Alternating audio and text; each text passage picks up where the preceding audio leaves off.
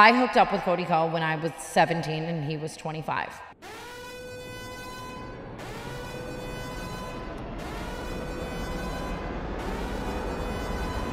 Hiç başınıza şöyle bir şey geldi mi? Birisine çok hayran oluyorsunuz. Onun içeriklerini, müziğini, sanatını büyük bir keyifle tüketiyorsunuz. Bir erkek kişisi bu. Ve bir bakıyorsunuz ki t***ciymiş, p***liymiş, ***'ymiş, etmiş, sette çalışanlara iğrenç davranıyormuş, kız arkadaşını dövmüş, karısına şiddet göstermiş, çocuklarına şiddet göstermiş ve bu o kadar sık oluyor ki artık bir patern gözlemlemeye başlıyorsunuz. Bir erkek sanatçıyı veya müzisyeni veya oyuncuyu veya içerik üreticisini sevmeden önce, ona güvenmeden önce, gönül rahatlığıyla onun içeriklerini tüketmeden önce sanki 40 takla atmanız gerekiyormuş gibi hissediyorsunuz. Bazen de darbeyi en güvendiğiniz yerden alıyorsunuz. Cody Ko. Yıllar yıllar önce Vine kapandığı için insanlar YouTube'a göç etmeye başlamıştı ve YouTube'da yeni bir janrı oluştu. Commentary. Benim de şu an yaptığım gibi bir şeyleri yorumlamak, bir şeylere tepki göstermek. Gerçi bir şeyi izleyip sadece tepki göstermek reaction channel oluyor. Ama bir şeyi yorumlamak, genel fikirlerinden falan bahsetmek commentary oluyor. Böyle işte janralar, alt janralar oluşmaya başladı ve yorumlama kanalı denince akla gelen birkaç tane isim vardı. Cody Ko da bunlardan biriydi. Ben de onu ta ilk çıktığı zamanlardan beri izliyordum ve çok da keyif alıyordum, beğeniyordum.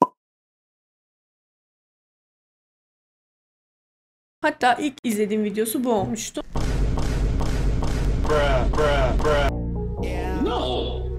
I'll let you put it in my butt. Go get the money, go get the money. Oh, Jesus fucking Christ. Instagram'daki komedyenlerin ne kadar düşük efor sarf ettiğini, videolarına ne kadar kalitesiz içerikler çektiğini, Lele Pons gibi insanların falan bunlar dalga geçen, bunlardan bahseden bir video çekmişti ve benim de çok hoşuma gitmişti. Vay be bizim de sesimiz olabilen birisi varmış. Gerçekten bu kadar salak içeriklere maruz kalmak zorunda değilmişiz. Başkalarının da dikkatini çekiyormuş bu durum, bu kalitesizlik falan diye. Takip etmeye başlamıştım ve büyüdü, büyüdü, büyüdü. Bir baktım milyonlarca insan takip ediyor artık. O kadar başarılı oldular ki bir de podcastleri vardı. TMG Podcast diye. Ve her zaman bana böyle çok güvenli, keyifli bir yer gibi gelmişti. Böyle ufak tefek şeyler oluyordu. içimi gıcıklayan mesela kadınlardan female diye bahsetmeleri. Hani böyle bir arkadaş grubu olur ya.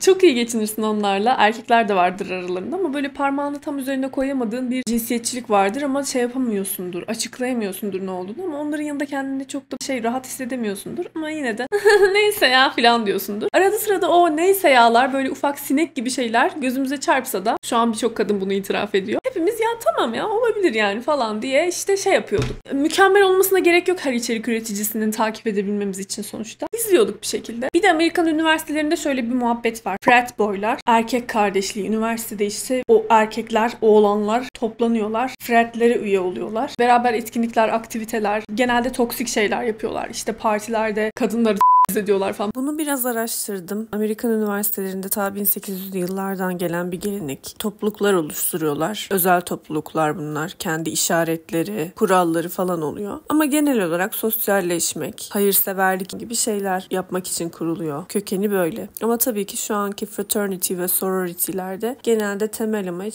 sosyalleşmek, eğlenmek, bir birlik kurmak falan. Ama şöyle ilginç bir şey var. Google'a fraternity member yazdığımda, görsellere girdiğimde ilk sırada fraternity memberların bu birliğe dahil olan erkeklerin işlediği suçlar çıkıyor. Pandemi kurallarına uymamak, başka çeşitli şeyler genelde tazlarla ve te lerle ünlülerdir. Partilerde böyle iğrenç şeyler yapmakla. Hatta bunlar kitaplara, filmlere bile, oyunlara bile konu olmuştur. Life is Strange'den hatırlayın. Sorority member yazdığımda ama ilk sırada öyle suç falan çıkmıyor. Bu da ilginç bir detay arkadaşlar. Aklınızda bulunsun istedim. Ya ben burada bu arada cinsiyet ayrımcılığı yapmıyorum. Toksik ataerkilliğin nelere sebep olabileceğini anlatmaya çalışıyorum. Sorun cinsiyetin kendisinde değil, kadınlıkta ve erkeklikte değil. Sorun kadınların ve erkeklerin o kadar farklı yetiştirilmesi ve erkeklere o kadar ayrıcalık tanınması hatta bu ayrıcalığın artık taşkınlık ve narsizm seviyesine gelmesi ki hep böyle bir araya geldiklerinde hiç hayra alamet bir olay çıkmaması o toplaşmanın, buluşmanın altından. Genel Genelde bu Fred üyesi üniversite öğrencilerine, erkeklere Iy, tam bir dallama falan derler. Kodiko da aynı şekilde Duke diye çok iyi bir üniversiteye gidiyor Kanada'dan. Aslında Kanadalı ama o üniversiteyi okuyup bitiriyor ve çok da bu arada iyi bir öğrenci. Çok başarılı bir bilgisayar mühendisi mi ne.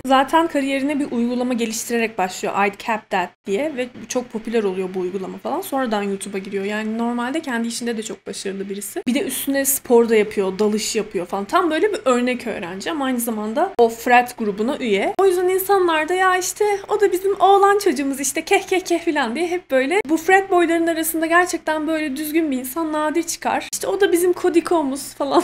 Kanatsız meleğimiz falan. Hep öyle bir muamele görüyor. Ve o şekilde bugünlere geliyor. Sonra birkaç sene önce hakkında söylentiler çıkmaya başlıyor. Bu da tam aşırı fazla video yapmaya başladığı döneme denk geliyor. Ben o zamanlarda kendimi çekmiştim, soğumuştum. Hatta en iyi arkadaşımla beraber izliyoruz. Beraber soğumuştuk yani. Bu ne ya? Artık videoların kalitesi aşırı düştü. 3 günde bir video yayınlıyor ve hepsinde sadece video açıyor ve bir şeylere reaksiyon veriyor. Artık eski kalitesi yok. Podcast'i de dinlemeyi bırakmıştım ben. Duncan Dussner diye bir YouTube kanalında Cancel Codico diye bir video gördük. Onu izledik arkadaşımla ve inanılmaz iğrenç şeyler öğrendik onun hakkında. Önce ben takip etmiyorum ama Andrew Tate ile alakalı bir podcast bölümü yapmışlar ve orada bir sürü insana verip veriştiren Codico ve Noel Miller bu da çok iyi arkadaşı birlikte yapıyorlar podcast'i. Hiçbir şekilde şey yapmıyorlar ya işte o da falan diye geçiştiriyorlar. Yani o kadar korkuyorlar ki bu da çok iğrenç ve kapitalist bir şey bana göre güzel bir markam var, çok büyük bir YouTube kanalım var diye. Neyse ona da bulaşmayayım falan yolunu seçmek. Andrew Tate gibi bir insan için. Andrew Tate'in ne kadar iğrenç bir insan olduğunu şu an tarif etmeme gerek yok herhalde. Kısa bir Google araştırmasıyla bilmeyenler öğrenebilir ama özet geçeyim. Normalde kickboksçu ama bir reality televizyon şovundan atılıyor bir kadını dövdüğü için ve kariyeri orada başlıyor. Erkeklere işte nasıl zengin olur, nasıl bir sürü kıza yatılır falan gibi yalandan kurslar satıyor. Bu da bir tür dolandırıcılık bu arada. Bir de öte yandan kadınları kullanarak bir webcam işine girmiş olduğunu söylüyorlar. Hatta bu yüzden yargılanıyor. Sırf İngiltere'de yakalanmamak için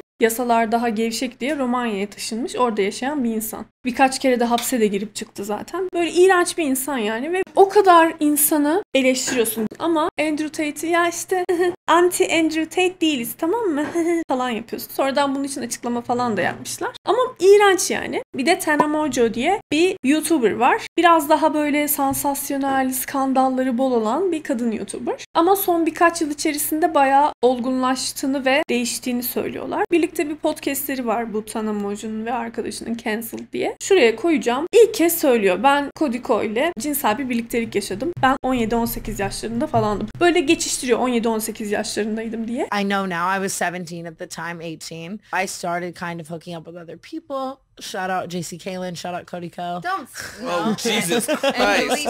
Ama 17-18 dediği için legal mi illegal mi? Çünkü orada birçok eyalette 16 ile 18 arasında değişiyor rıza yaşı. O yüzden kimse çok fazla üstünde durmadı. 17-18 dediği için aa gerçekten böyle bir şey mi olmuş ya falan deyip geçti herkes. Biz de izledik rahatsız olduk ve iyice böyle soğuduk. İzlemeyi bıraktık. Ve sonra birkaç yıl daha geçti. Tanemojo yine bir iki kere söylemiş bunu. Ama bir şekilde konunun üstü kapanıyormuş, örtülüyormuş. Kodiko YouTube yorumlarını çok sıkı bir şekilde filtreliyormuş. Reddit kanalında da modlar siliyormuş bu konuyla ilgili her şeyi. O yüzden böyle her şeyin üstü bir şekilde kapanmış. Bu yıl daha fazla kaçamadı bu durumdan. Ve biz bunu sadece bir tane YouTuber'dan duymuştuk bugüne kadar. Çok az kişi konuşuluyordu. Konuşanlar da susturuluyordu. Ve büyük kanallar da cesaret edemiyordu. Çünkü bu çok büyük bir suçlama. Hakkında zaten bir sürü başka kötü dedikodu var. Kimse ya Kodiko aslında böyle böyle birisi falan diyemiyor. Çünkü dediğim gibi o kadar sağlam bir kitle inşa etmiş ki kendine 5-6 milyon takipçisi var. O kadar çok herkes seviyor ki. Bir de e, maalesef YouTube'da böyle insanlara bazen çok fazla kredi veriyor. Her şey mahvolana, yıkılana kadar bu insanların videoları algoritmada daha fazla öne çıkıyor. Yani milyonlarca takipçisi olan YouTuber'larla YouTube daha özel olarak ilgileniyor. Benim bile 200 bin takipçiye yakın takipçim var. Şu anda herhangi bir YouTube kullanıcısının sahip olmadığı bazı özelliklere sahibim. Üretici, yaratıcı olarak. Onlar daha fazla şekilde YouTube'da daha birebir muhatap oluyorlar ve YouTube bunları maalesef daha çok görmezden geliyor. Rachel Oates'tan ikinci kez gördüm birkaç hafta önce ve ben de üzerine konuşmaya karar verdim. Çünkü bir sorumluluk olarak gördüm artık bunu. Kızın para kazanmasını kısıtlamışlar mesela. Ben de dedim ki ya ben de bu konu hakkında konuşmam lazım. Çünkü haksızlık bu yani. Ee, Birçok konuda haksızlık. Hem bir kadına bu kadar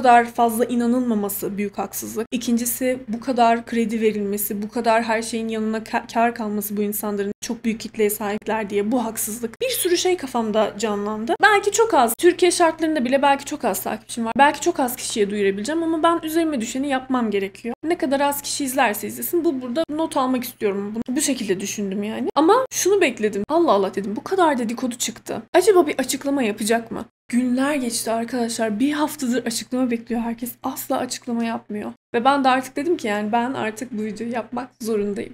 Dediğim gibi YouTube'un golden köpeği. Kimse kötü bir şey demeye cesaret edemiyor. Herkes bir şekilde bahane buluyor. Ta ki Tanemojo canlı bir podcast şovu yapıyor. Yani podcast'in bir bölümünü bilet satıyor ve canlı bir şekilde yapıyor. Ama normalde kamera görüntüsü almak yasak böyle şeylerde. O yüzden daha söylenmeyecek şeyleri söylüyorlar. Ve şu söylediğine bakmanızı istiyorum.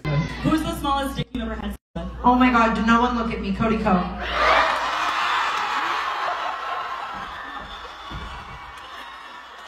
Delete the videos. 2017, I can say my what? Sorry. Complete the video! Oh my god, I wasn't here.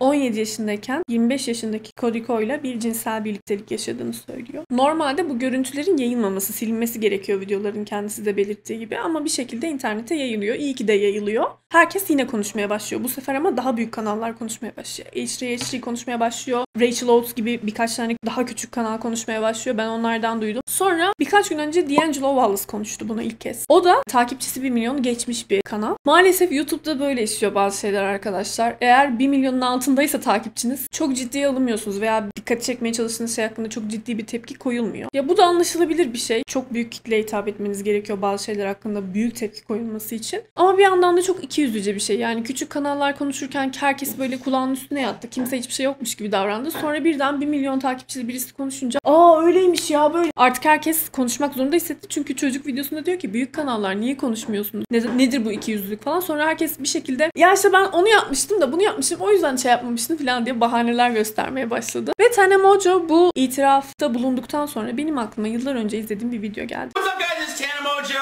and I'm here uh, with Tana. Not gonna laugh at my jokes Dislike this time. this video. not gonna, no, you, now the camera's on, you're not gonna laugh at my jokes. Alright, so.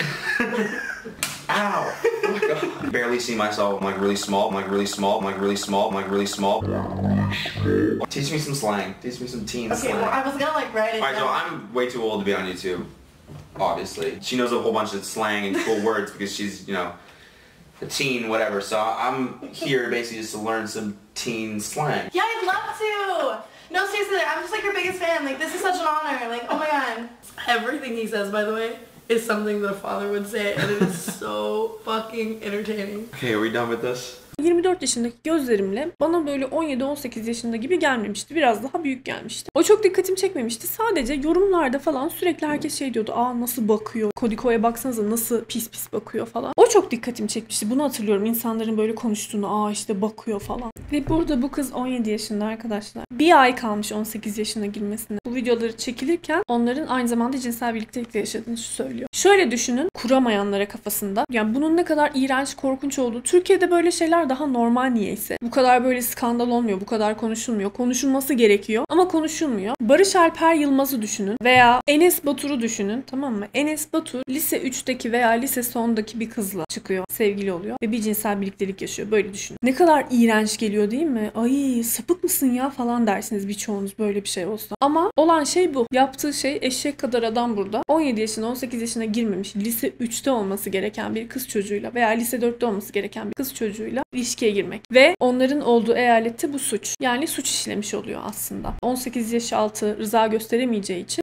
etmiş oluyor. Bazıları bunu şöyle tartışmaya çalışıyor. Özellikle erkekler bunu çok yapıyor bazı erkekler. Ya ne olmuş ki bir ay kalmış işte 28 gün kalmış aslında yarım saat 45 dakika kalmış 18 yaşına girmesine. Sanki mesele orada 18 yaşına bir buçuk gün kalmış olması falan. Aralarındaki yaş farkını, otorite farkını, hayatta bulundukları yer farkını bunları gerçekten anlayamıyor musunuz ya? Yani burada mesele 17, 18 veya 19 olması değil ki eşek kadar bir adamın küçücük bir kızı. E ve şu anda da söylüyor zaten. Ben o zamanlar birçok kişi tarafından bu şekilde suistimal edildim. Birçok YouTuber tarafından. Shane Dawson da aynısını yapmış. Jason Nash diye iğrenç bir herif var. 40'lı yaşlarında. O bile öpmeye çalışmış. We had a bit of an awkward moment. We went into the dressing room. First of all, last night Big Nick was like, dude, she to did. And then she goes, let's go on a date. But I said like a vlog date, like Oh, a listen. like a for clickbait. Fair enough, I'm old and I don't know anything. then we go try the clothes on, and she comes in the dressing room with me. The woman goes, Do you guys want to go into the dressing room together? And Tana goes, Yes. No, that's I did not. say Yes. I asked her like, do you care? You're trying to Like, sleep with Jason? No. Both of our cameras are off. And I go, All right, well, let's go. And then she takes like a really long time to leave I the just dressing take a room. long time. Like I was like putting both my phones in my pocket, plugging one into the portable charger. Like In my mind, I was like, If I don't try something, it's gonna eat me alive. That is What? not like I need to have sex with this 18 year old so bad. Ew. What would you do? For the re- I leaned in for a kiss. Confused. Oh my god. I literally like maybe we touched a lip. Yeah. Yeah. Who who do I side with? Jason, what the is wrong with you? That's who I side with.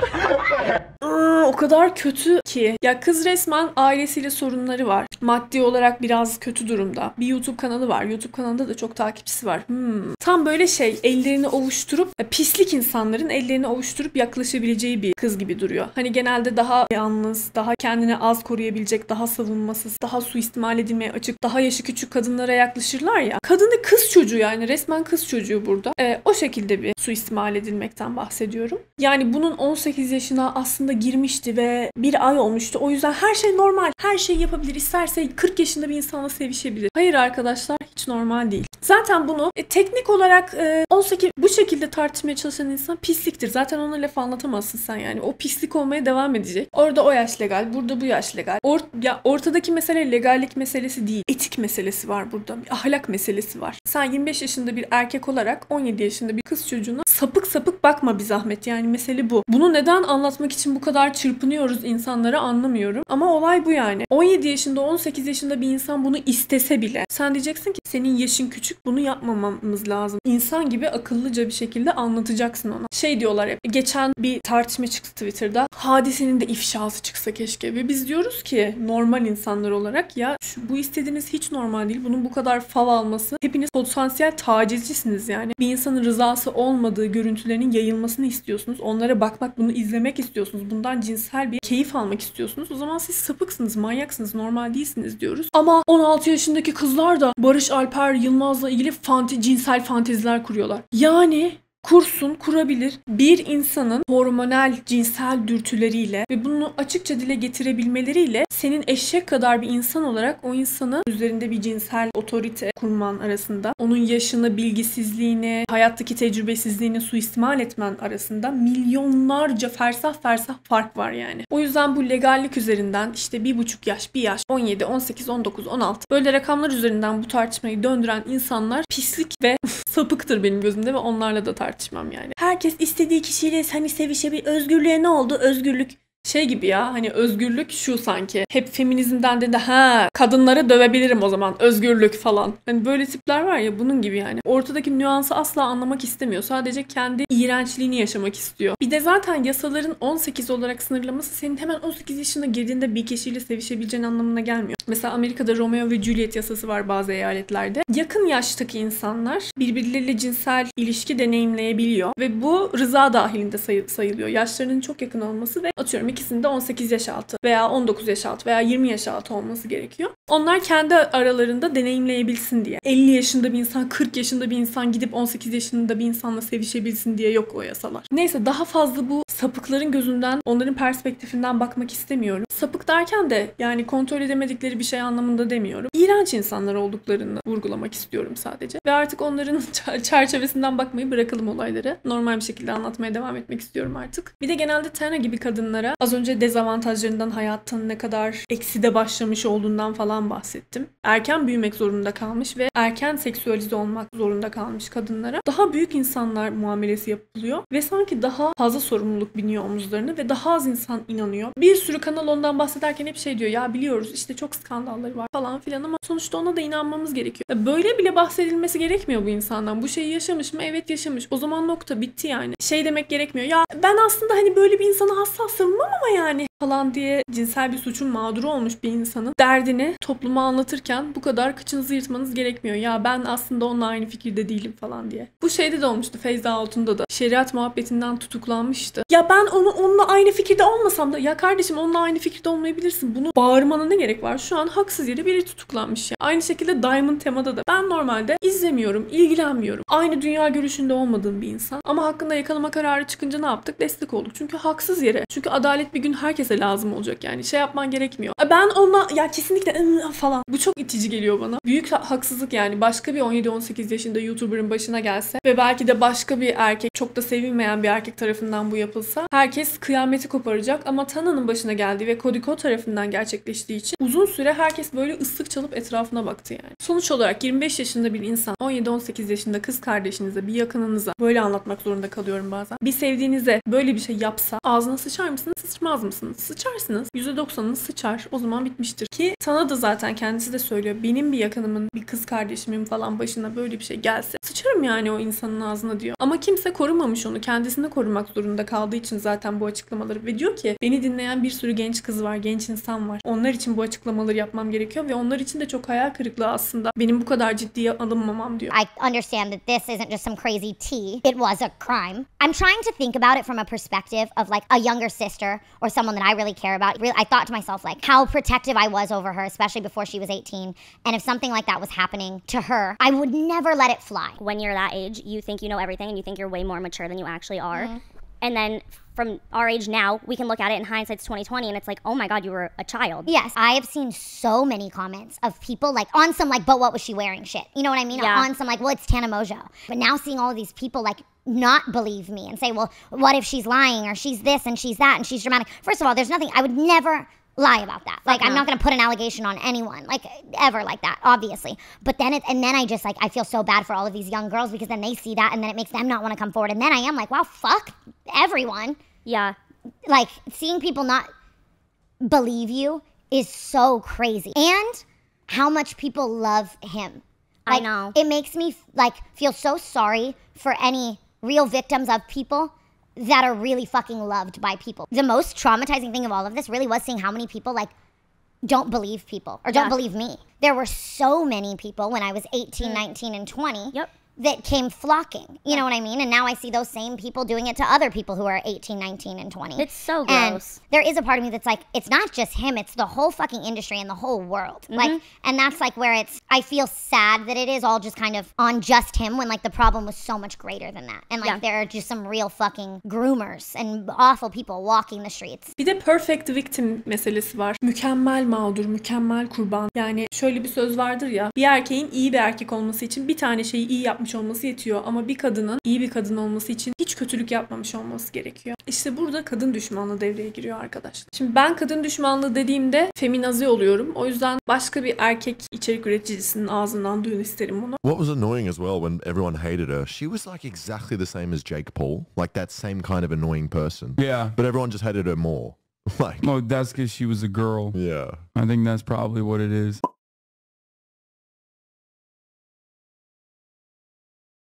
Yani Jake Paul'la aynı sinir bozuculuk seviyesine, aynı tahammül edilemezlik seviyesine sahip olmasına rağmen her zaman Jake Paul daha çok alttan alındı. Tanam Hoca'ya kimseye bu kadar kredi vermedi, bu kadar alçak gönüllülük göstermedi, kimse bu kadar alttan almadı. Dümdüz nefret edildi yani. Zaten bugüne kadar bu kadar uzun süre halı altında süpürülebilmiş olmasının sebebi bu. Perfect victim olmaması. Ve zaten kendisi de olayı kabullenme ve sindirme sürecinde olduğu için tacizleri anlamak, kabullenmek, sindirmek zaman alır arkadaşlar. Böyle çok ufaktan söylüyordu. Olmuyordu. Bir daha söylüyordu. Olmadı. Bir daha söyledi. En sonunda artık burada kendisi de artık 24-25 yaşlarında. Tam böyle şey yaşları. Aman Allah'ım. Bana böyle bir şey olmuştu ve korkunç bir şeydi aslında bu. Kötü bir şey yaptılar bana. Ya bazı insanlar bunu daha erken idrak ediyor ama 24-25 yaşında tam olarak nasıl yani ya böyle bir şey normalde kabul edilemez. Benim niye başıma geldi o zaman? Benim suçum neydi? Benim de korunmam gerekiyordu. Beni de kimse korumadı. Ben bunu hak etmedim falan böyle düşüncelerin tam şey var ya frontal lob gelişimini o civarlarda tamamlıyor ya. Aman Allah'ım yaşı olabilir o yüzden. Bu sefer söyledi ve olaylar bu sefer geri dönülemez bir şekilde başladı. Bir de şey diyenler oldu ya niye şimdi söylüyor? Adam evlendi, yeni çocuğu oldu. İşte çok mutlu bir hayatı var. Niye şimdi söylüyor ki? Kusura bakma yani senin mutlu hayatını mahvettiğim için 17 yaşımdayken bana böyle iğrenç bir şey yaptın ama neyse ben senin e, çocuğunun büyümesini ve yaşlanıp ölmenizi falan beklemeliydim değil mi konuşmak için? Böyle bir şey yok arkadaşlar. İnsan istediği zaman işte hayatlarını mahvetmeye çalışıyor. İşte ünlü olmaya çalışıyor. Popülaritesini artırın. Ya ki bunu hiç anlamıyorum. Arkadaşlar siz ne zaman bir sürü yönetmen çıktı, bir sürü kişi çıktı, böyle iğrenç bir geçmiş olan ne zaman başlarında bir şey geldiğini gördünüz? Johnny Depp hala devam ediyor hayatına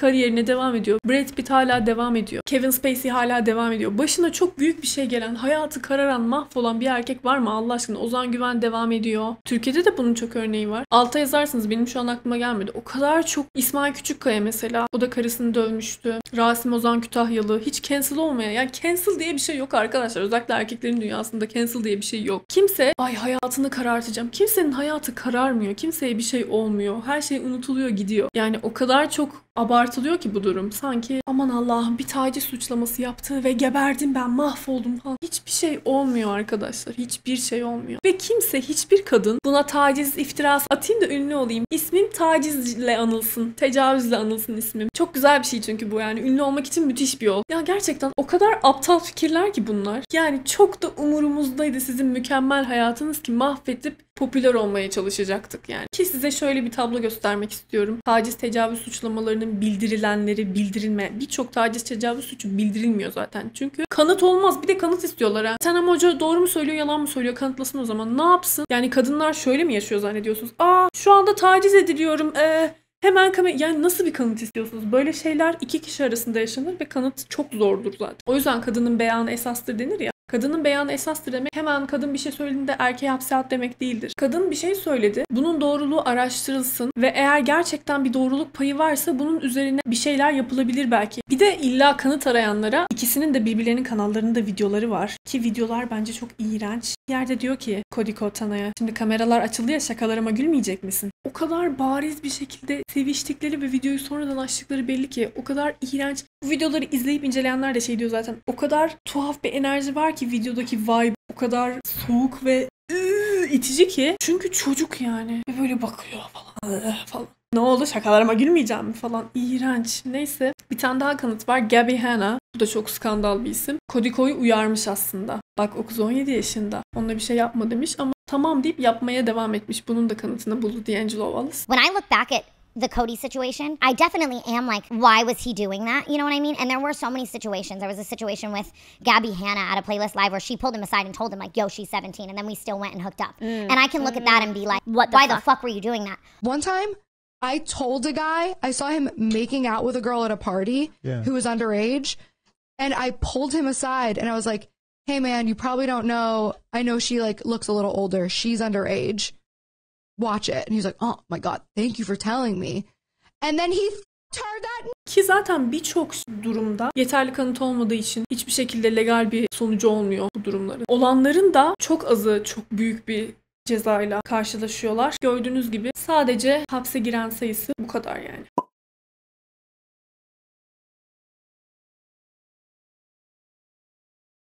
Zaten genel olarak yani dünyada bu böyle. Bunun için erkeklerin bakış açısının da çok değişmesi gerekiyor. Çünkü cinsel suçları ciddiye almıyorlar. Bir insanı taciz etmiş, bir insana tecavüz etmiş bir insan aslında ne kadar korkunç şeyler yapmaya meyilli olabileceğini, ne kadar şiddete meyilli olabileceğini, ne kadar kötü bir insan olabileceğini düşünmüyorlar. O kadar normal geliyor ki hırsızlık falan gibi görünüyor. Ciddiye alınmadığı için ya dünyada birçok ülkede bu böyle. Bu da şöyle değişebilir ancak yargıda daha fazla kadın olmasıyla değişebilir. Bunun gerçekten suç olduğunu, insana nasıl psikolojik ve fiziksel zarar verdiğini bir şekilde anlatabilmemiz gerekiyor. Çünkü şu anda ben öyle görüyorum yani. Anlamıyorlar. Erkeklerin birçoğu tecavüzün ne kadar kötü bir suç olduğunu ve tecavüz eden insanın ne kadar kötü bir insan olabileceğini anlamıyor. Dünya bu şekilde işliyor yani. Tecavüz edip de hapse giren, yıllarca bunun cezasını çeken insan çok çok az. Sorumuza geri dönelim. Niye şimdi söylemiş? Kardeş istediği zaman söyler seni ilgilendirmez. Travmalar zaten böyledir. Bu arada bu kısma uyarı koymam gerekecek. Zaten konuştuğumuz şeyler belli arkadaşlar ama yine de ekstra bir uyarı koyayım dedim burada. Etkilenecek olan arkadaşlar lütfen izlemesin, geçsin buraları. Ben de çocukken tacize uğradığımda bu olayı anlamlandırmam çok uzun zaman almıştı. Sonra bu olay beni rahat bırakmamaya başladı büyüdükçe. Panik ataklar geçirmeye başladım. Niye, ne, niye olduğunu anlayamıyorum ama geçiriyorum. Sonunda bu olay beni o kadar rahatsız etmeye başladı ve kendi içimde tutamamaya başladım ki işte ailemle, arkadaşlarımla, yakın çevremle paylaştım, sevgilimle paylaştım. En son psikoloğumla paylaştım. Bu şekilde yavaş yavaş bu süreci işleyebildim diyeyim. Kendi içimde anlamlandırabildim, yanlış olduğunu kavradım ve bu noktaya gelebildim. Bugün bu ko- konu hakkında çok rahat konuşabiliyorum. Yani şu an bunu bu kadar rahat bir şekilde konuşuyor olabilmek aslında yani inanamazsınız ne kadar büyük bir süreç gerektirdiğini, ne kadar güç istediğini, ne kadar zaman aldığını. Kolay bir şey değil ya. Nasıl korkunç bir şey olduğunu ve bir çocuk olduğunu ve bunun hiç adil olmadığını, sana öyle bir şey yapılmaması gerektiğini bunları anlayana kadar göbeğin çatlıyor yani tabiri caizse. O yüzden kimseye bu şekilde hesap sorma hakkımız yok hiçbirimizin. O zaman o zaman söyleseydin. Gitseydin polise şikayet etseydin. Onu yapsaydın bunu yapsaydın. Polise şikayet edilenlerin de ne kadar sonuca ulaştığını falan da biliyorsunuz hepiniz.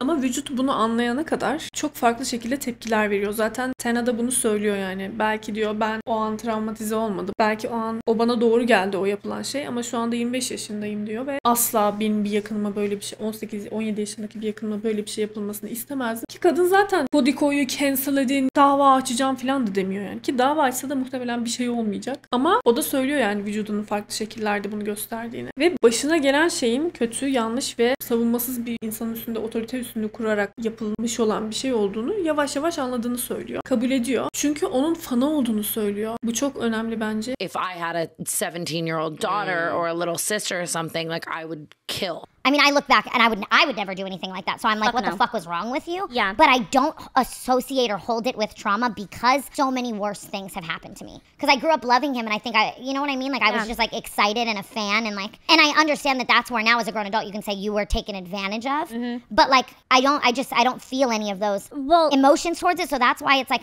it's much easier to be like, go crucify someone when you feel those emotions. Of course. You know, and it's almost like the public's reaction to this has Made- made me feel 10 different types of ways that I didn't feel Mhm. before. Like in my day to day life, like it's like I know for a fact if you swapped out Cody Co with someone that like people didn't like that much, My I would be receiving so much more sympathy versus like the amount of people in this industry who like want to protect him and are like Oh, right. talking to me in a way where it's like they, you know what I mean? Like, or even just friends like, but but I love him, like you know what I mean? and. I, the thing is, is like I still watch his videos. Like I do think he's really funny, and like it's it is this weird thing of like it would be easier and less hard if he was like easily hateable and No, that, that makes me sad for other people in a situation like mine again like where it's like because i do i feel fine and i Yeah. would want to just like But I also think you feel fine because you've had so much time now to like cope with that and I might be way more traumatized than I feel and lead on, but like I swear to God, I feel fine. I hate to hit and I feel fine, but I feel like I've worked through a lot of my actual traumas and still am. Shit can always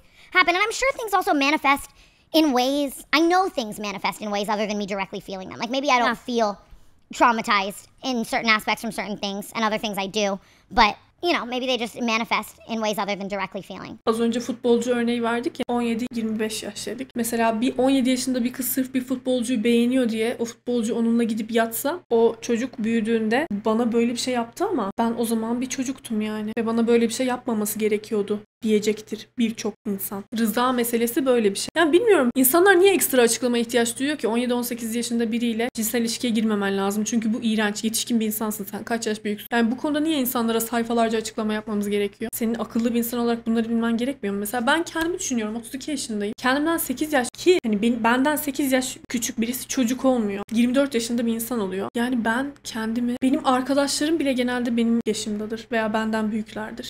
Gerçekten bunu niye anlatmak için göbeğimizi çatlatıyoruz bunu da anlayabilmiş değilim. Orada seyirciler böyle çok şok olmuş bir şekilde tepki gösterdiğinde anlamış biraz. Bir de Duke meselesi var. Aynı üniversitede okuduğu bir arkadaşı var. Bu benim ekstra midemi bulandırdı. Bunu bilmiyordum. Yani benim için Tena meselesi tamam çok iğrençti. Bu olay yani dedim ki bunlar nasıl midesiz insanlar. Bir tane arkadaşı var. Çocuk hakkında dava açılıyor. Üniversitedeyken o frat dedim ya az önce. Cody'nin frat grubundan bir çocuk. Çocuğa bir dava açılıyor. Üniversitedeki bir genç kadını rızası dışında cinsel ilişki sırasında video kaydını almış ve kız da benim hem video kaydına rızam yoktu hem de cinsel ilişkiye rızam yoktu. Çünkü bana ilaç verdi, uyuşturucu verdi demiş. Ve hatta çocuk Fred grubundaki bazı arkadaşlarına bu videoları göstermiş. Yani Kodiko'ya da göstermiş olabilir bu videoları. Böyle bir ihtimal de var. Bu çocuğun başından böyle bir olay geçiyor. Dava nasıl sonuçlanıyor bilmiyorum ama Çocuk en iyi ihtimalle cinsel ilişkiyi izinsiz kayda almış biri. En kötü ihtimalle de tecavüzcü biri. Ve bu herifi arkadaşlar ilk vloglarından beri yanında yani bu adam. Instagram kanalını aşağı linke koyuyor. Beraber bir sürü videoları var. Bir yerlere gidiyorlar. Etraflarında bir de hep 17-18 yaşında kızlar olduğunu da söylüyor ilk izleyiciler. Ben o kadar vlogları detaylı izlemiyordum. Ama böyle şeyler çok söylendi. Hatta şey diyorlar Me Too hareketi gibi belki bir tek Tena değil başka 17-18 yaşında kızlarla da beraber olmuştur. Onlar da belki sonradan ortaya çıkabilir diyenler bile var. Böyle bir adamı yanında dolaştırdığın yetmiyor. Instagram sayfasını aşağı koyup takipçilerini de onu takip etmeye teşvik ettirdin. Bir tecavüzcüyü takip etmeye teşvik ettirdin yetmiyor. Gidiyorsun adamla düğün ya bunlar geçen sene evlendi arkadaşlar. Öyle çok uzun boylu değil yani. Düğün fotoğrafları var. İnanılmaz bir şey değil mi? Böyle sarılıyorlar. Kelsey de ben karısı ne kadar biliyordur ne kadar bilmiyordur bilmiyorum ama yani iğrenç değil mi? Bilmiyorsa bile kocamın böyle bir insanla düğün fotoğrafımız olacak bizim. Benim bundan sonra haberim olacak. O öyle bir insanmış. İğrenç bir şey bu yani. Bence böyle şeyler olmayacak ama bazı insanlar ya işte boşanırlar kesin. Bu olmayacak arkadaşlar. O işler öyle çalışmıyor. Biz ölümcül olarak online olduğumuz için bazı şeyleri böyle zannedebiliyoruz ama işte o işin içinde bir sürü maddi çıkar var, manevi şeyler var. Yani böyle bir şey yüzünden bir aile dağılmaz bence. Çünkü yıllardır var bu dedikodular. Ama bilemeyiz tabii ne olur. Neyse sonra birkaç gündür ben bu olayı yakından izliyorum tamam mı? Size anlatacağım diye. Bütün videoları baştan aşağı izliyorum, notlar alıyorum. Hatmettim yani YouTube'da Kodiko olaylarıyla ilgili bütün videoları ki size eksiksiz ve tam bir şekilde anlatabileyim diye. Bir yandan da şey diyorum ya diyorum birkaç gündür ben bunu inceliyorum. Neredeyse bir haftadır var bu olay. Birkaç gündür ben bunu inceliyorum. Bekleyeyim ki o da bir cevap videosu yapsın. Çünkü genelde böyle olur. Genelde bir sansasyon, bir skandal olduktan sonra YouTuber şöyle bir video yayınlar. Guys, I'm so sorry. I'm a completely different person now. I've changed a lot. That person does not reflect my current opinions. I promise to be a better person falan. Böyle beyaz tişörtle Allah'lı kolyeyle gelirler açıklama yaparlar. Böyle bir şey de olmadı yani. Çünkü niye biliyor musunuz? Öyle bir ikilemde kaldı ki Söylese bir türlü, söylemese bir türlü, itiraf etse bir türlü, etmese bir türlü. Bu konuyu açacağım birazdan. Büyük kanallar bahsetti. Özür bekliyoruz yok, özür bekliyoruz yok. Ve dün ne yapmış biliyor musunuz? Bir DJ seti vardı. Tam dallama insan tipi değil mi? DJ'lik ne alakaysa böyle birden DJ'lik yani ne? Ne gibi bir skillin olabilir senin bu konuda da DJ'lik? Dün DJ programı varmış iptal olur diyorlardı. Terminally online arkadaşlar. İptal olmadı gayet devam. İnsanlar da Woo! Diye dinliyorlar diyorum ya kimse cancel olmaz arkadaşlar.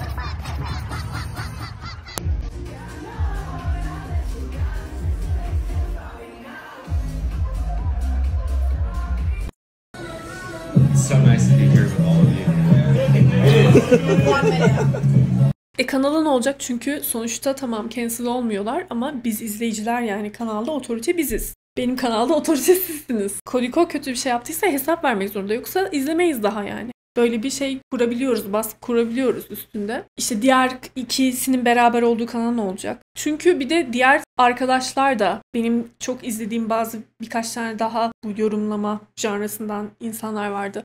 Drew Good. Şu an aşırı niş bir konudan bahsediyorum umarım. Bilmiyorum sıkmamışımdır kimseyi de. Drew Gooden, Curtis Conner falan gibi böyle çok kan- kanka diyemeyeceğim çok ama hani beraber bir sürü videoları var. Herkes birden bu da bana çok şey geliyor. Üf, çok gerçekten o kadar samimiyetsizce geliyor ki. Ya biz çok yakın arkadaş değildik ya. Çok kanka değildik aslında ya. Yani bir iki kere videolarına çıktım. Bir iki kere görmüştüm. Herkes hemen kendini paçasını kurtarmaya çalışıyor falan. Benim takip ettiğim, sevdiğim birkaç YouTuber'a baktım. Hemen takipten çıkmışlar. Açıklamasını beklemeden. Çünkü kimse öyle bir insanla artık beraber anılmak istemiyor. Açıklama yapsa da yapmasa da herkes paçasını kurtarmaya çalışıyor. Takipçileri bayağı düşmüştü. Ama şöyle bir durum var ki Evet birkaç kişi gider ama gerisi kalır. Yani o kadar bedel ödeyeceğini zannetmiyorum ki. Bir de işin şu kısmından bahsediyorum. Hani dedik ya D'Angelo Wallace işte 1 milyon takipçi üstü söyledi, anlattı, helal olsun. Herkes helal olsun diyor. Tabii ki helal olsun. Kolay bir şey değil yani. Hiç umursamaya da bilirdi.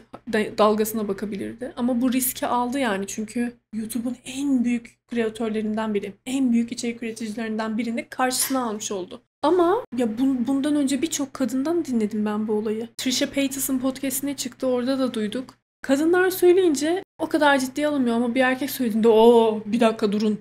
Bir dakika erkek konuşuyor. Evet sakalın var konuş bakalım gibi bir muhabbet oluyor. Buna da şöyle demeye başladılar. Ya işte YouTube böyle bir yer. YouTube'da da bazı yerler çok erkek abilerden oluşuyor.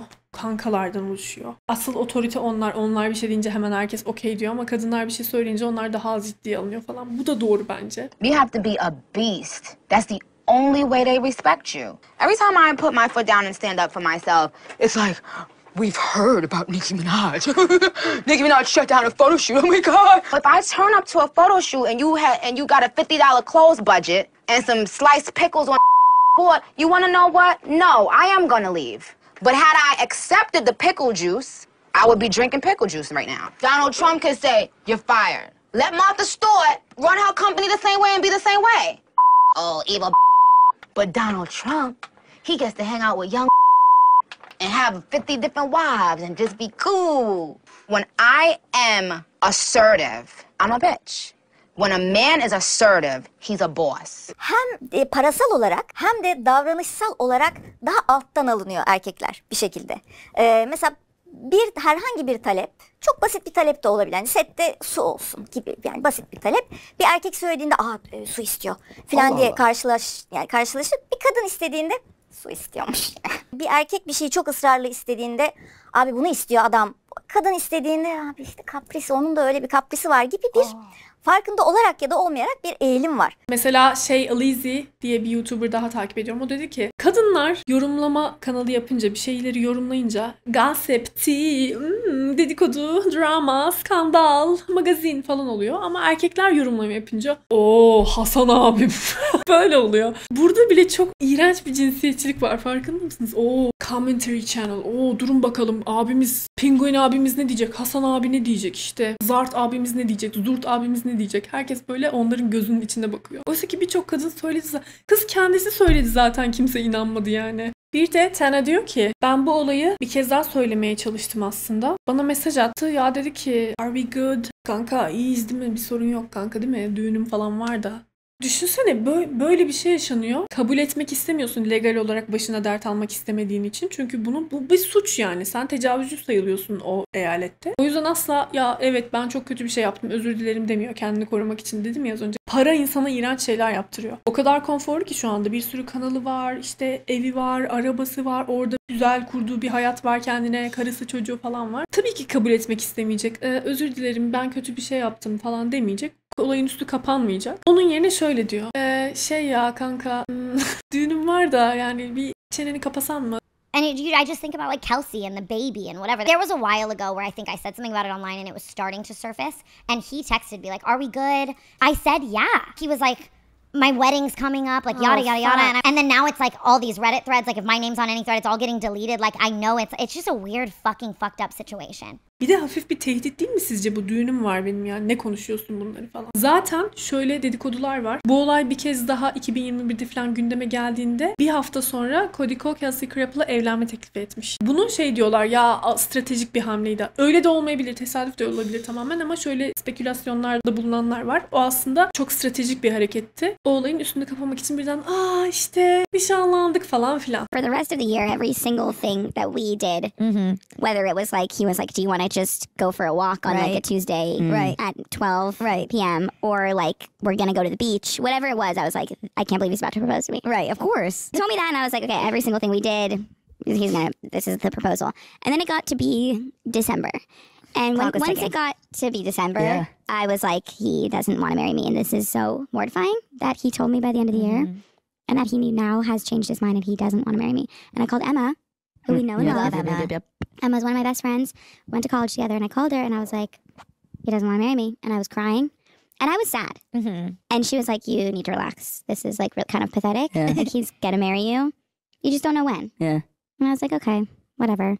I was sad, and I wasn't being very nice to him because I was mad. You had no idea. I had stopped hoping at this point. Uh-huh. Everything to me was like it was gonna happen, and then it kept not. That I was like, there's just no way it's gonna happen. anymore. right. Şu da söyleyenler var. Son zamanlarda hani size söylemiştim ya videoların kalitesi inanılmaz düştü. Kapak fotoğrafı bile yapmıyordu ya. Bakıyordum yani ben bile bak zaten bir YouTuber olunca fark ediyorsunuz böyle şeyleri. Ulan böyle de oluyor muymuş ya? Tembelliğe, hazırcılığa bak ya dedim. Biz o kadar uğraş, yarım saat, bir saat uğraştığım oluyor benim o kapak fotoğraflarım. Herif kapak fotoğrafı bile yapmıyor. Oh ne güzel dünya ya falan. İçimden böyle sinir alıyordu. Şey diyenler var ya bu kadar hızlı bir şekilde video çıkarmasının, bu kadar özensiz bir şekilde para kazanmaya çalışmasının sebebi Nasıl olsa 20-25 dakikalık bir videosu 1 milyondan fazla izleniyor. Garanti yani. Ne yaparsa yapsın. isterse osursun. izleniyor. Bu olayın geleceğini hissetti. Bir şekilde bu olayla bir gün yüzleşmek zorunda kalacağını hissetti. O yüzden hızlı hızlı videolar yapıp kazanabildiği kadar fazla para kazanıp YouTube'un suyunu çıkarıp öyle emekli olup bir daha hiç... Zaten bu insanlar o kadar zengin ki arkadaşlar. YouTube'u kapatsalar bıraksalar bile bir daha çalışmalarına hiç gerek kalmıyor. Bir de zaten ailesi zengin herifin. Kendisi iyi bir üniversite okumuş. Tamam yazılımcılık konusunda belki artık çok geride kalmış kötü olabilir. YouTube kariyerine devam ettiği için çok uzun zamandır ama ya bu insan açlıktan ölmeyecek yani hiçbir zaman. Bunu çok unutuyorlar çok fazla. Acıyanlar falan aa ne yaptınız adamın kariyerini mahvettiniz diyenler oluyor ama kimsenin açlıktan kuru ekmek kemirdiği yok YouTube kariyerinden sonra. YouTube kariyeri cancel olduktan sonra yani. Şeyi görmediniz mi ya? Hatırlıyor musunuz? Birisi ukuleleyle özür dilemişti. Colin Ballinger. Çocuklarla inanılmaz uygunsuz mesajları falan bulunmuştu. Kadının evli, çocuğu var, evi var, arabası var. Gayet hayatına devam ediyor. Vlog çekmeye devam ediyor yani. Geçen sene biz demiştik ki aa hayatı bitti, geberdi falan filan. Bu sene baktım karı vlog çekiyor ya. Yani o kadar Instagram'ına baktım. Eh, hayatında o kadar normal devam ediyor ki. Cancellation diye bir şey özellikle zenginler için yok. Bir de Kodiko'nun bu meselelerin halı altına süpürmesi ve bunun çok süper bir çözüm olduğunu zannetmesi şunu da getiriyor aklıma. İnsanlar böyle skor tutarlar, defterlerine yazarlar. Mesela bana da çok yapılıyor. Birisi benim siyasi görüşümü beğenmiyor. Sen zaten o zaman da işte 2015 yılında şöyle söylemiştin falan diye birden böyle bütün hakkımda beğenmediği, sevmediği, dikkatini çekmiş olan ne varsa paragraflar halinde yazıyor ve sonra unfollow ediyorum haberin olsun diyor ve gidiyor. Ha niye o zaman açık açık söylemiyorsun? O zaman açık açık söyle madem yanlış bir şey yaptığımı düşünüyorsun değil mi? Ama böyle insanlar skor tutuyor. Kodiko'nun bir olayı daha var. Siyahiler için çok kötü bir kelime olan ne nokta nokta nokta kelimesini kullanıyor.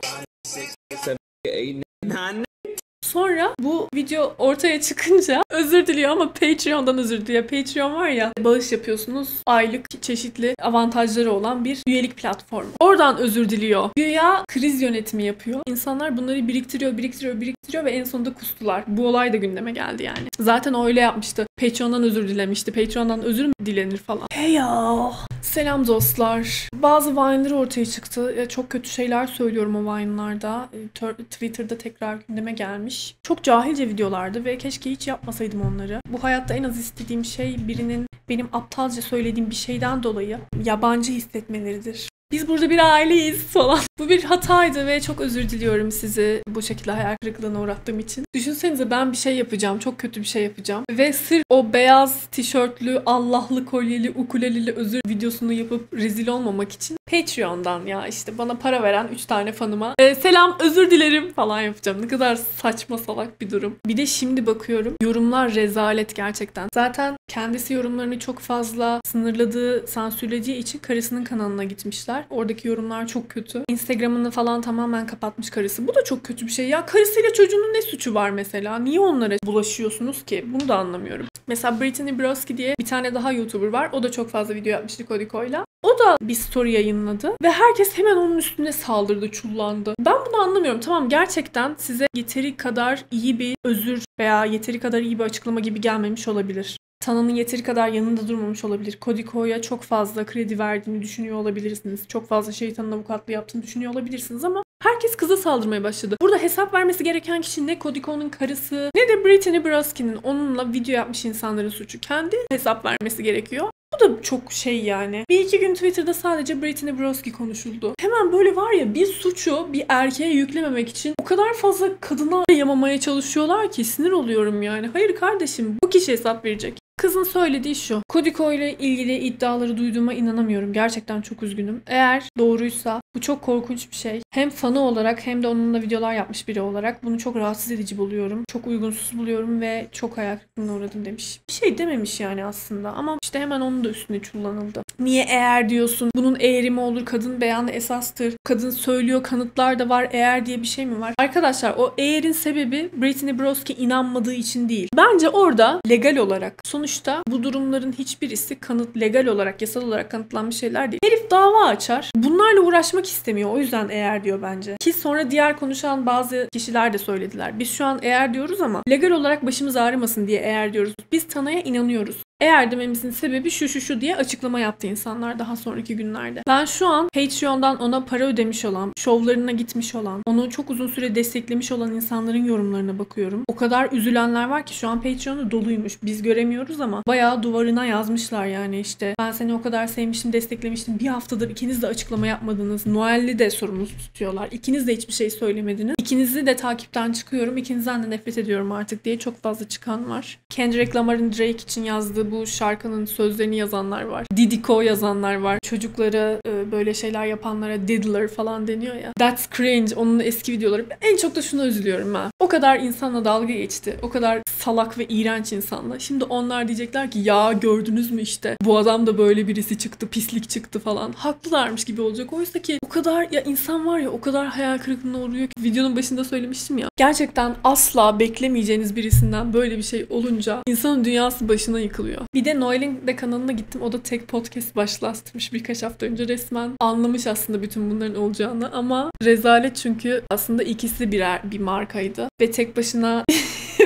Oğlum dur. Kamerayı kokluyor. Tek başına yaptığı podcastlerden hiçbiri 100 binin üstünde bile çıkamamış. Milletin o kadar takipçisi, milyonlarca takipçisi var. Videolarını izlemiyorlar ya ben şok oluyorum. Ulan benim osuruktan podcast'im, bırtkast'im bile bazen videoları 100 bini geçiyor. Bak bu işte gerçek cancel olmak budur. Senin video yapıyor olmaya devam edebilmen değil. Videolarını daha az kişinin izlemesi, insanların seni umursamaması, başarısızlık. Bir insanı ancak bu şekilde cezalandırabilirsiniz bence. Kısacası arkadaşlar bu olaylardan çıkaracağımız ana fikir. İnsanlar hep şey dedi ya ben anlamıştım zaten. zaten bir tuhaflık olduğu belliydi. Böyle bir şey olduğunda konuşmaktan çekinmememiz lazım. Tek kişi bile olsak. Sizce de şu durumda bir gariplik yok mu diyebilmemiz lazım. Şundan bahsetmiyorum. Çünkü böyle bir yerde oldu Türkiye artık. Eğitim sisteminden dolayı işte siyaset bilmemezlikten, politika bilmemezlikten, bazı kavram kargaşalarından falan dolayı insanlar ne yapacaklarını şaşırdı. Birisi sevdikleri bir şeyi yapmıyorsa veya söylemiyorsa direkt terörist diyorlar. İşte o onu paylaşmamış, o ona şöyle bir şey söylemiş, Türkiye'nin T'sini küçük yazmış, o terörist falan. Böyle bir şeyden bahsetmiyorum çünkü bana da çok yapılıyor. Gerçek şeylerden bahsediyorum. Gerçekten bir insan başka bir insana zarar verdiyse, korkunç bir şey yaptıysa, etrafındaki insanları çok kötü etkileyen bir şey yaptıysa, aynı siyasi görüşte ol- olmak zorunda değilsin kimseyle. Kimseyle aynı hassasiyetlerin olmak zorunda değil. Gerçekten böyle bir şey yaptıysa, bu derecede korkunç bir şey yaptıysa ya işte o da yani 18 demiş aslında falan deyip halı altına süpürmekten bahsediyorum. İnsanların saçmalıklarını gördüğünüzde açık açık söyleyin. İlla hakkında 3-5 tane daha fazla skandal çıkması ve sonra ya zaten kedisini de öldürmüştü falan denmesi gerekmiyor. Bazı şeyleri açık açık söylemek gerekiyor. Bir tüketici olarak, bir izleyici olarak böyle bir insanı çevremde istemiyorum. Bir tane bile etkileşim vermek istemiyorum. Milyonlarca takipçisi var diye korkmak yanlış oluyor. Doğruyu söylemekten korkmamamız gerekiyor. İşte bir insan kedisine, köpeğine kötü davranıyorsa, çocuğuna kötü davranıyorsa, set arkadaşlarına kötü davranıyorsa, etrafındaki insanlara, çalıştığı insanlara kötü davranıyorsa ya da gerçekten bu şekilde bir suç işlediyse açık açık söylenmeli, bağırılmalı. Bak bu konuda gençler gerçekten çok iyi. Mehmet Ali Erbil tecavüzcü değil miydi ya? Seda Sayan onun evindeki işçilerden birine tecavüz ettiğini söylemişti. Seda Sayan'ın bunu mesela yıllarca saklaması da korkunç bir şeyken ve zaten bu insanın nasıl bir insan olduğu biliniyordu yani. Çarkıfele'yi şu an bence hiçbir genç izlemiyordur. Fosiller izliyordur yani veya onun yanlış bir şey yapmış olduğunu hala düşünmeyenler izliyordur. Büyük tepki gösteriyorlar mesela Kanal D'de. Cancel oluyor mu bu adamlar? Olmuyor. Birkaç yıl daha çalışır. Biraz daha parasını kazanır. 150 yaşına kadar mutlu bir şekilde yaşar, geberir. Ama bizim üzerimize düşeni yapmamız gerekiyor ne olursa olsun bence. İkincisi de şunu anlamamız gerekiyor. Bu insana pedofili falan diyenler var. Bu çok yanlış bence. Çünkü pedofilinin tanımı ergenliğe girmemiş çocuklara karşı bir cinsel çekim duymak. 12-13 yaş öncesi çocuklara karşı cinsel çekim duymak. Bu insana cinsel suçlu diyebiliriz. Çünkü yaptığı şey suç. Legal olmayan yaşlı birisiyle birlikte olduğu için suç. Ama pedofili dediğimizde o pedofili kavramının içini boşaltmış oluyoruz. Gerçek pedofililerin algılanmasını zorlaştırmış oluyoruz. Ya siz de her şeye pedofili diyorsunuz falan diye böyle artık ciddiye alınmamaya başlıyor o laf mesela. O yüzden bence pedofili kelimesini kullanırken çok dikkatli olmamız gerekiyor. Podiko'nun yaptığı pedofili olmuyor. Cinsel suç oluyor. Bence her boka pedofili, pedofili, pedofili diyerek bu işin ciddiyetini kaçırmamamız gerekiyor. Bu ikisinin farkını anlayalım. Kesinlikle yaptığı şeyi savunmuyorum. Cinsel suçlu olduğunu söylüyorum ama cinsel suçlu farklı bir şey, farklı bir kavram. Pedofili farklı bir kavram. Lütfen bunun ayırdığında olalım arkadaşlar. Çünkü aptal aptal insanların sonra ya siz zaten her boka sana ne 17,5 yaşındaymış sana ne falan gibi aptal aptal argümanlarına şahit olmak, onları dinlemek zorunda kalıyoruz. Böyle bir şeye gerek yok. Son olarak bence bir içerik üreticisi böyle bir işin içinden nasıl çıkabilir? Kodiko'nun meselesi çok zor çünkü kabul etse, özür dilese bu sefer cinsel suçlu olacak ve şu an Amerika Kanadalı olduğu için Amerikalı biriyle evli ve green card'ı var. Cinsel suçlu olursa eğer yani sonuçta böyle iddialar ciddiye alınmak zorunda yargı tarafından. Green card'ını kaybedebilirmiş. Direkt olarak sınır dışı edilebiliyormuş. Böyle bir risk varmış. Bundan bahsediyorlardı en son Reddit'te. Bu yüzden kabul etmesi ve özür dilemesi imkansız diyenler var. Ama öte yandan kabul etmezse de bütün kanallar kaldı. Karısının kanalı, kendi kanalı, podcast kanalları, bir sürü kendi çıktığı veya beraber birileriyle çıktığı yerler. Bütün işler şu an askıda kaldı ve bir haftadır açıklama yapılmadı. Bunlar ne olacak? İnsanlar unfollow ediyor, paralarını çekiyorlar, üyeliklerini çekiyorlar falan. Ne olacak? Gerçekten bilemiyoruz. Yani sadece susarak ve la la la la hiçbir şey olmamış gibi yaparak bu işin içerisinden çıkılabilir mi? Ondan emin değilim. Ben de sizin kadar merak ediyorum ama şundan eminim. Çıkıp beyaz tişört ve Allah'lı kolyeyle çok özür diliyorum ben bir hata yaptım demeyecek. Çünkü derse eğer kendi hayatı gerçekten bitiyor. Ama demezse de kendi hayatı gerçekten bitiyor. Bu konu hakkındaki yorumlarınız neler? Ve bizim camiada da mesela Türkiye'de de böyle şeyler çok yaşanıyor. Ama sanki bu kadar büyümüyor, bu kadar olay olmuyor. Bir şekilde insanlar burada daha rahat hayatlarına devam ediyor. Bu konu hakkında ne düşünüyorsunuz? Daha sert olmalı ve daha yüksek sesli bir şekilde bu olaylara hayır demeli ve bu insanlarla aramıza kocaman mesafeler koyup bu insanların asla başarılı olmasına katkı sağlamamamız gerekiyor mu? Bence evet.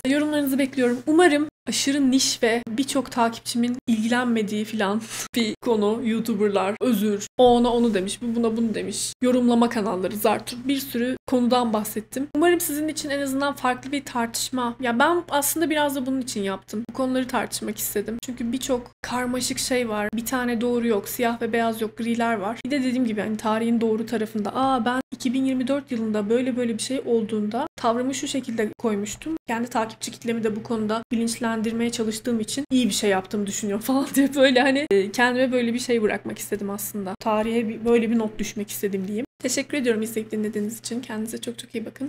Hoşçakalın.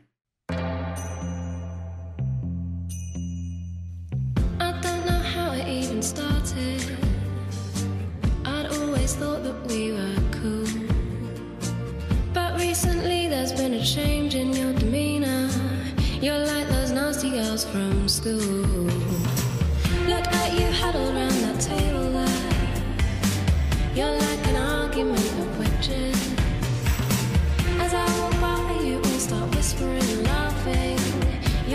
bunch of sad old bitches.